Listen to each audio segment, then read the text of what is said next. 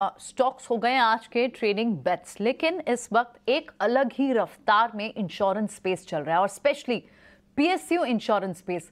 और एक ऐसी कंपनी है, जीआईसीआरई, और जीआईसीआरई के सीएमडी रामास्वामी नारायण भी हमारे साथ बने हुए हैं। आइए उनसे बात करते हैं। बहुत बहुत स्वागत है आपका, मिस्टर नारायण। हमने देखा कि जिस तरह की रफ्तार इस वक्त आपके स्टॉक में और पूरे स्पेस में बनी हुई है क्या बड़े ट्रिगर्स हैं हम क्योंकि हम इस वक्त वैल्यूएशन को भी कंपेयर कर रहे थे, जो प्राइस टू बुक वैल्यू और वन ईयर फॉरवर्ड है, वो अपनी पीक वैल्यूएशन लास्ट ईयर से कहीं ज़्यादा ऊपर है।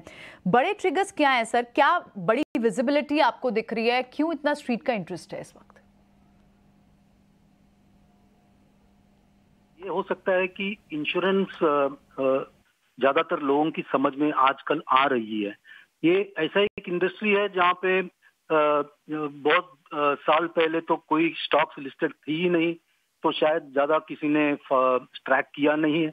अब जाके जब ट्रैकिंग हुआ है तो समझ में आ रहा है कि बिज़नेस क्या है। ओबियसली हमारा बिज़नेस ही कुछ अलग है। हम दूसरों की रिस्क लेते हैं, उसको इंश्योर करते हैं। तो ऑलवेज ये एक डर लगा रहता है कि ये कंपनी कितनी आगे जाएगी, कैसे करेगी, कितने लॉसेस ले पाएगी।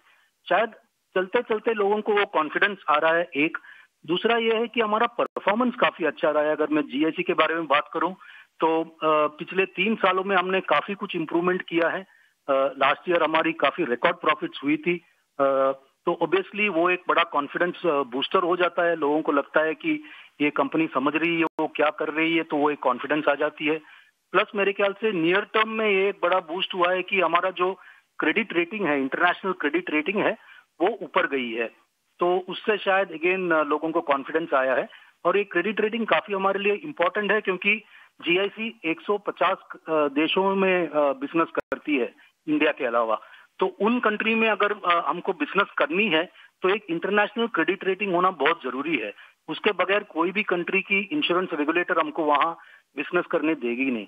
तो ये एक क्रेडिट रेटिंग की जो बूस्ट हमको मिली है, उसके कारण हमारा इंटरनेशनल बिज़नेस काफ़ी अच्छी हो सकती है आगे चलकर। तो वो शायद एक बड़ा बूस्ट है लोगों के लिए।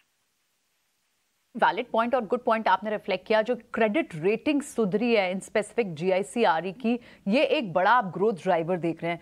बात ऐसी भी है कि कहीं ना कहीं आपके न्यू प्रोडक्ट फाइलिंग है। आप अपने डिस्ट्रीब्यूशन चैनल्स को भी काफ़ी वाइडेंट कर रहे हैं।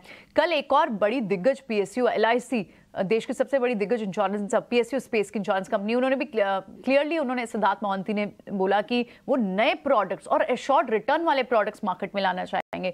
तो ये न्यू प्रोडक्ट्स को लेकर जिस तरह का एक इनिशिएटिव एक स्ट्रॉन्ग इनिशिएटिव दिख रहा है पीएसयू स्पेस से, वो भी बड़ा रीजन है। क्या टेक्नोलॉजी को भी अडॉप्शन ऑफ़ न्यू टेक्नोलॉजी भी एक बड़ा रीजन है? ये क्या सारे ग्रोथ ड्राइवर्स हैं?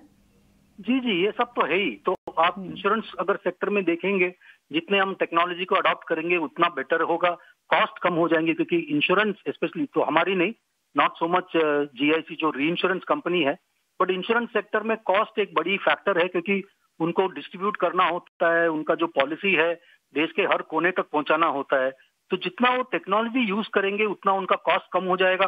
तो ऑब्वियसली उतना उनका प्रॉफिट्स बढ़ जाएँगे उतना उनका प्रोडक्ट का प्राइस कम हो जाएगा जो कॉमन मैन को अफोर्डेबल हो जाएगा। तो वो एक बड़ी फैक्टर है। और हमारे लिए तो हम ये देश में हम क्या करते हैं कि जो दूसरे देशों में हम बिज़नेस करते हैं, जो वहाँ का एक्सपीरियंस है, वो हम यहाँ पे इंडिया में यूज़ करते हैं। नया प्रोडक्ट्स डेवलप करते हैं, नए मार्केट्स देखते हैं, नई वेज ऑफ़ डूइंग बिज़नेस करते हैं। तो ये सब काफ़ी एक अच्छी बात है जो हो रही है। और इंडियन मार्केट तो काफ़ी ग्रो हो रही है। कंपेयर टू डेवलप्ड मार्केट्स हमारा ग्रोथ काफ़ी अच्छा है। क्योंकि हमारा पेनिट्रेशन लेवल्स बहुत कम है आज के तारीख में तो उनको बढ़ाना है तो हर कंपनी अपनी काम कर रही है। मिनिस्ट्री और रेगुलेटर भी अपने तरफ़ से काफ़ी पुश दे रहे हैं।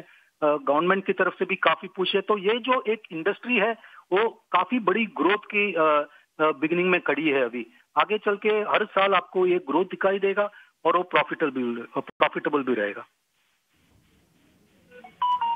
रामास्वामी, सर, नमस्कार, अभिषेक बोल रहा हूँ। सर, जब किसी कंपनी के शेयर भाव में इस कदर बढ़त आती है ना तो दर्शक हमसे अपेक्षा रखते हैं कि हम उसके पीछे की कहानी, उस पीछे, उसके पीछे की खबर बताएँ।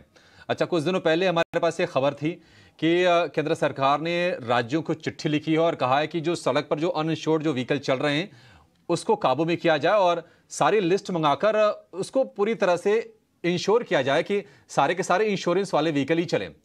सर, अब अब आप हमसे जुड़ जुड़ गए, हमसे बातचीत हो रही है। क्या आपको भी इसके बारे में कोई जानकारी है? कुछ आप संकेत दे पाएँगे?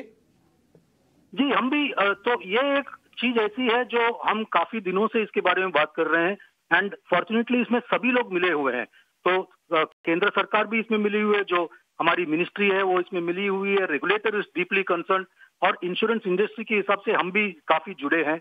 अब क्या है कि इन मार्केटों को संभालने के लिए रेगुलेटर ने ऐसा किया है कि हर एक इंश्योरेंस कंपनी को एक स्टेट दे दिया गया है कि जहाँ पे उनको जाके सब कुछ करना है टू एंश्योर दैट वहाँ का जो इंश्योरेंस है काफ़ी अच्छा हो जाए।